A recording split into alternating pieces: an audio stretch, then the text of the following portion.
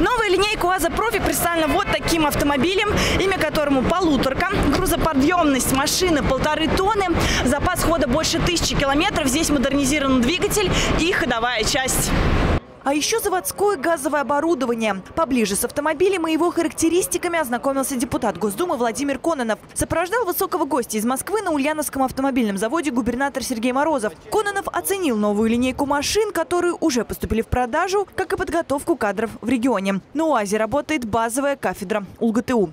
Нам нужны сильные научные, инженерные, изобретательские кадры. Без этого ничего не будет.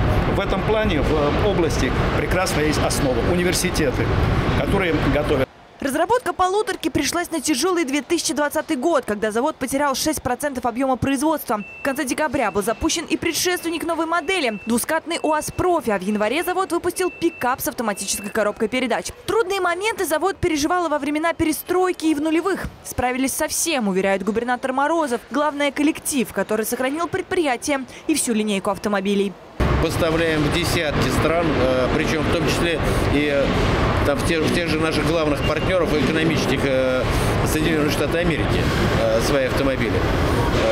Достаточно ли это для того, чтобы вот подтверждать тот наш, ту нашу большую амбицию, которая есть в Ульяновской области, конечно, недостаточно. Поэтому мы сейчас смотрим, что нам необходимо сделать. А необходимо сделать несколько ключевых вещей, добавляет глава региона. Причем импульс должен исходить от власти. Речь идет о достойной заработной плате, социальной защищенности и профилактике здоровья сотрудников. Я веду разговор о медицинском учреждении. Для нас крайне важно, чтобы мы построили большой профилакторий, который когда-то э, принадлежал автозаводу, для того, чтобы трудовой коллектив, э, ветераны э, чувствовали себя максимально комфортно. Сегодня эксперты дают прогнозы роста автомобильной индустрии на 3%. Соответственно, УАЗ ставит своей целью увеличение доли рынка до 2,5%. Сейчас на заводе производят 190 автомобилей в сутки. Цель этого года – выпустить 40 тысяч машин, а также увеличить зарплату рабочим на 6%. В настоящее время более 250 вакансий на основные специальности, и мы ведем набор.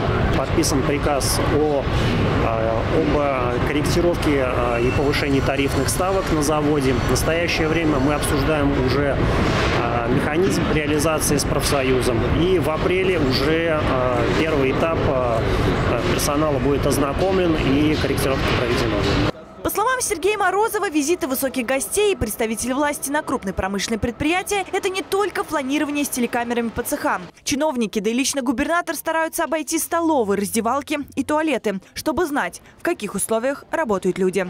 Рената Алиулова, Александр Кудряшов, Улправда ТВ.